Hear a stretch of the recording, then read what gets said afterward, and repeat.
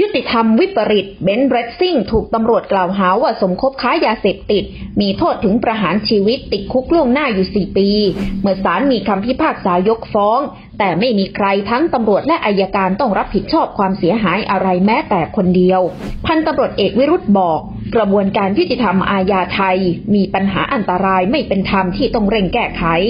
การปล่อยให้ตำรวจมีอำนาจสอบสวนรวบรวมพยานหลักฐานอยู่ฝ่ายเดียว โดยที่ไม่มีใครเข้าไปรู้เห็นเกี่ยวข้องและตรวจสอบได้ แม้แต่อายการผู้มีหน้าที่ฟ้องคดี เป็นเรื่องที่เป็นภัยต่อความยุติธรรมอย่างยิ่ง เพราะถ้าตำรวจได้ออกหมายเรียกบุคคลเป็นผู้ต้องหา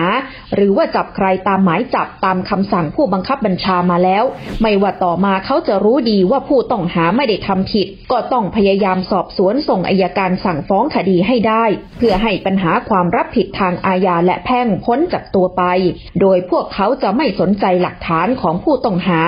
ที่แสดงว่าไม่ได้ทำผิด แม้ถึงขนาดต้องสร้างพยานหลักฐานเท็จ แต่งนิยายสอบสวนขึ้นอย่างไร เพื่อหลอกอายการให้สั่งฟ้องคดี ก็ต้องทำตามที่ผู้บังคับบัญชาในระบบทหารสั่งการ